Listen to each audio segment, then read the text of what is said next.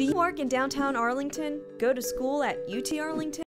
Or maybe you want to get out and explore attractions in Fort Worth, Dallas, and other parts of the Metroplex. For just $5, Max gets you where you need to go.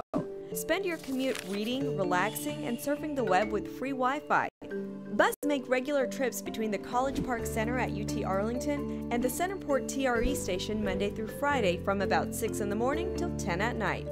Once you get to CentrePort, head west by taking the TRE to Fort Worth and jump on the T. Or you can take the TRE to Dallas and then take DART to where you need to be. With so much to see and do in North Texas, try a new way of getting around town. Ride the Max.